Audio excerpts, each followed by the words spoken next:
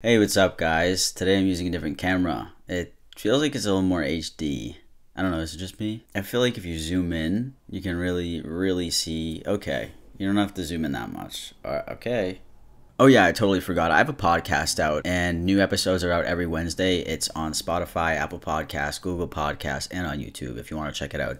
The link will be in my description. It's called Outspoken by Sam Collins. You can just search it on your platforms. So I'm sorry that I'm back so soon with a Bring Back Manly Men esque video, but Candace Owens has just absolutely made herself look like a fool. But Candace, I'm a guy. Why can't I just wear a dress? The last video I made, a lot of people liked it, and so you know, if you've been keeping up with it, this political commentator Candace Owens, she made a statement about Harry Styles wearing a dress on the Vogue magazine, right? She said, bring back manly men, you know, because he's wearing a dress and it's such a bad thing. Since then, Harry Styles responded to what Candace Owens has said about him wearing the dress. and it says, uh, bring back manly men. My favorite part about this, and I don't know if it was on purpose, but it, it's him eating a banana and I just I thought it was golden. No pun intended. So, anyways, this is what Candace Owens had to respond to that. When people try to tell me I don't have influence, and then at Harry Styles dedicates an entire post to my tweet. I inspire global conversation.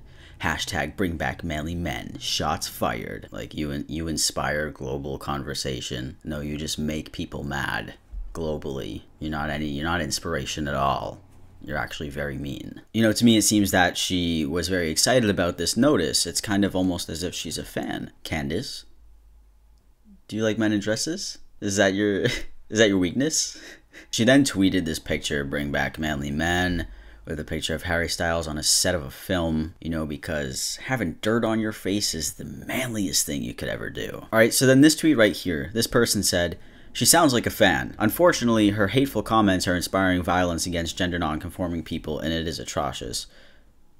Atrocious. This isn't something to be proud of at Candace Owens. It isn't a discussion when people's safety and lives are put at risk. So then she replied and said, The left is literally trying to claim the expression bring back manly men is an act of violence. Ha ha ha ha ha. You need your head checked buddy. So this is my favorite thing because she thinks she's so clever. The reality of it is is that people are going to get comfortable with saying things like you are. This is going to make men who want to be in touch with their feminine side scared to do it because they know it's going to come it's people like you and you know men who do feminine things or want to wear what they want to wear could literally get attacked in the streets for it too because people like you hate it so much and it's just like do you have anything else better to complain about than what a grown man is choosing to wear so the last tweet before we get into these videos, and this one, I just gotta read it. All right. Women who objectify themselves by spreading their legs for the world are lauded as courageous. Men in ball gowns and little girls' clothing are lauded as icons. Hollywood is no longer about diversity. It's about perversity. I speak for people who do not worship perversity. The thing about this tweet was like, what is what does little girls' clothing have to do with any of this? Like Harry Styles was not wearing little girls' clothing. I just honestly didn't know what men in ball gowns had to do with little girls' clothing. So, you know, after all this happened, she decided to go on Instagram and post on her story this video. But Candace, I'm a guy. Why can't I just wear a dress? Because you can't, okay? You can't. That's a really good rebuttal. That's like award winning. Because you can't.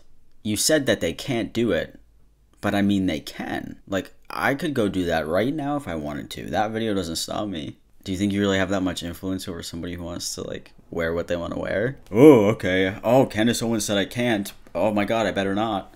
Like, okay. But I just want to express myself in little girl clothing. You can't. You're just, you're not allowed to. Again, who is wearing little girls' clothing? This is what these people do. Like, I feel like she just took a straw man right there and then she's claiming that they want to wear little girls' clothing, but that's not what anybody was discussing. A ball gown is not a, a, little girl's clothing. So this next video that she posted is actually eight minutes long. I haven't really watched much of Candace Owens, you know, because I just really, I would rather not. And in this video, it was an abomination. Like, this was probably one of the most unintelligent, yep. This was probably one of the most unintelligent this makes my point look really good. This was one of the most unintelligent videos that I've ever seen. And I say that from my heart, I really do. Alright guys, Bring back manly men. Who would have thought that that would have caused an absolute firestorm? Something as basic um, as saying that men are good for our society causes a firestorm. Okay. Obviously, men have done great things. Men who are manly have done great things, and men who are not so manly have done great things. Nobody said they haven't done great things of course, on the left because the left hates anything normal. Basically, if there is anything that looks remotely normal, the left sees it and they want to tear it down. They just cannot stand the idea that things are functioning and things are working and things are normal. I think that's actually the total opposite. When people on the right see something that they don't agree with, they want to tear it down and bring it back to, you know, like the 1920s. And I also love how she classifies everybody who disagrees with her as the left because I'm sure there's plenty of people on the right who disagree with her and who could care less about Harry Styles wearing a dress.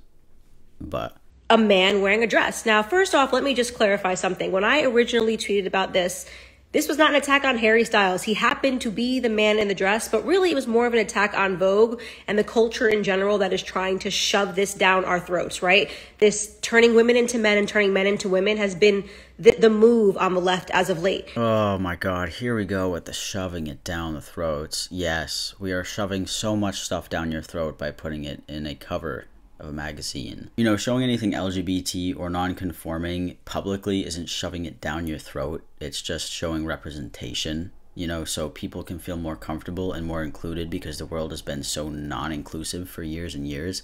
And it's nice to see a gay couple or it's nice to see somebody who doesn't conform because other people might want to do the same thing and they might be too scared because there's bullies on the internet like you. There's bullies who run the country like Donald Trump. Not for long though, because he lost. But people get scared for their life because of people like you who care so much about what they do. And it's like, do you have anything else to worry about? Nobody's coming up to you with a Vogue magazine putting it in your face. All you have to do is mute it. And you can even mute it digitally. So you don't even have to see it. If it bothers you that much, if it makes your day that much worse, you don't even have to see it. Just mute is that easy. Right? Women should want to go to work. You don't need a man. Shave your head. Dye it pink. Make yourself ugly, right? Because that's feminism and that's power and that sticks it to the patriarchy. Okay, weirdo. How is dyeing your hair a different color or shaving it making you ugly? Also, what's wrong with women wanting to go to work? Women have aspirations too. Women have goals too. Women want to get houses. They want to have an income. Do you think they just want to do nothing? Again, do we live in like 1910? The world changes as things grow. I don't know if you know that, but we don't stay stuck in one decade or one century because things evolve.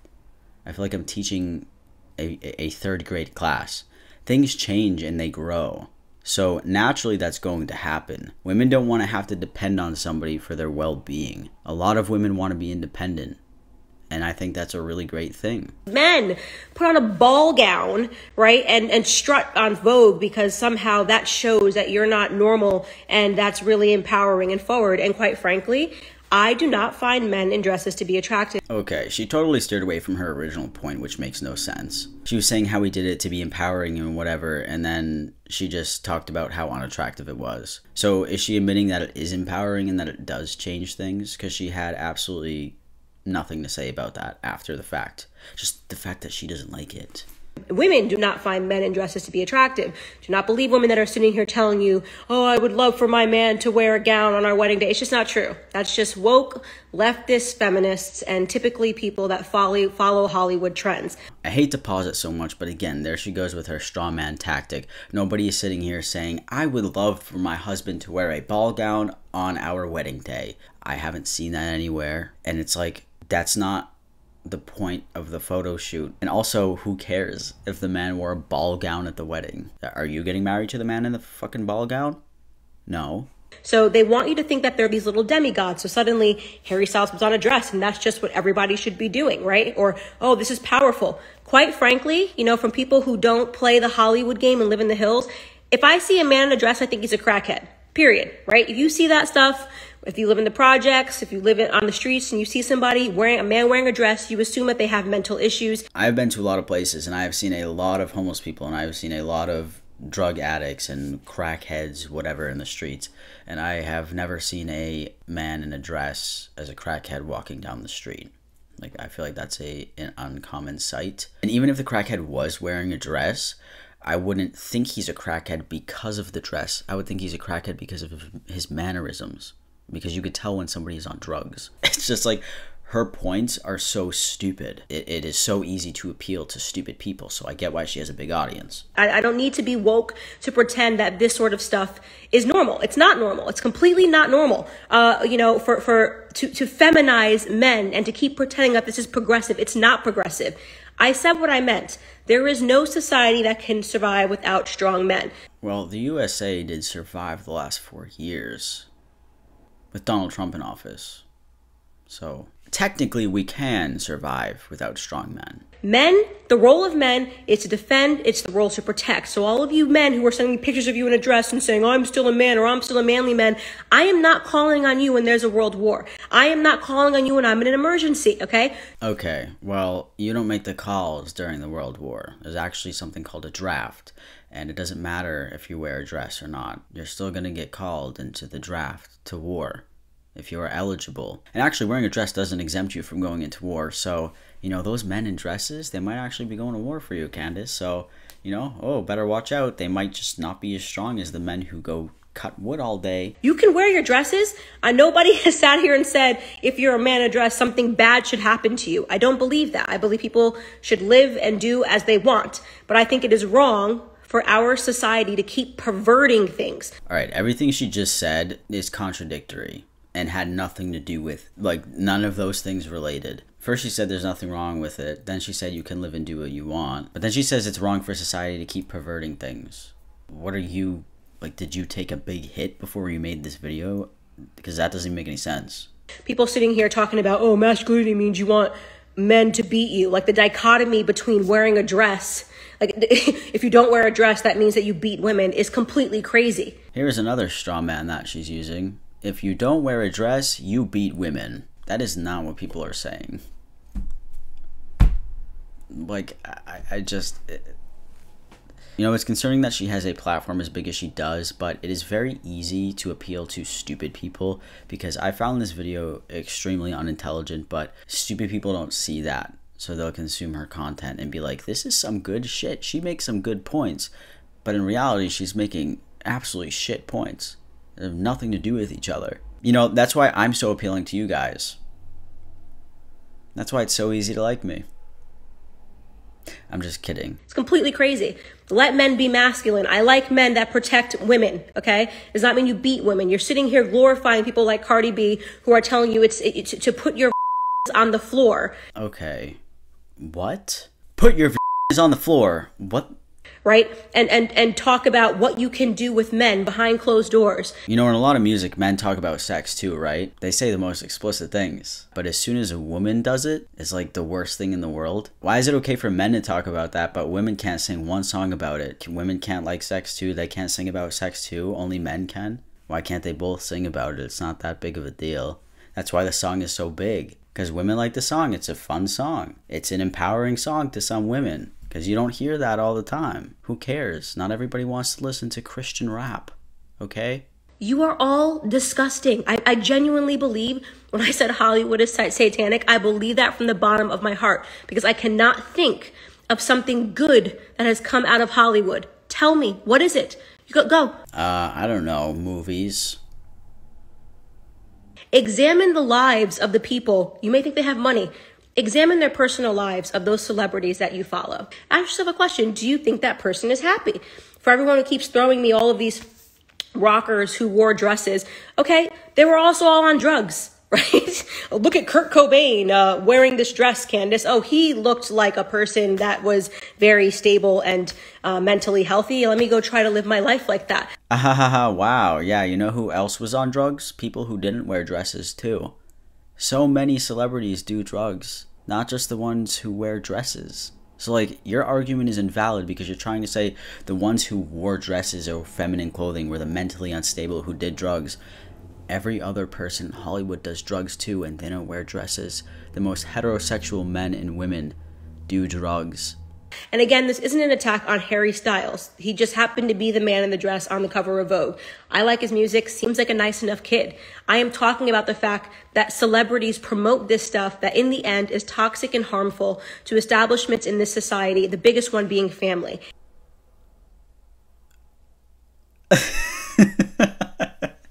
so promoting gender nonconformity is destroying families. All right. Okay. Yeah. Yo, that's so accurate. Like, I can't. I just. I. I.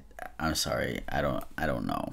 Everything the left does and touches, everything that these Holly weirdos promote, is about destroying basic values that work. A nuclear family. Maybe, just maybe, the celebrities and society is trying to break traditional views because like i said we grow and we change. It's not 1920 anymore okay? The women don't stay at home and take care of the children and cook and clean and do all that stuff. I mean granted that sometimes still happens. That's not the norm anymore okay? That's when things change. Men don't want to chop wood all day and hunt all day for food. They can go to the grocery store and buy the food at the grocery store and buy the wood at Home Depot.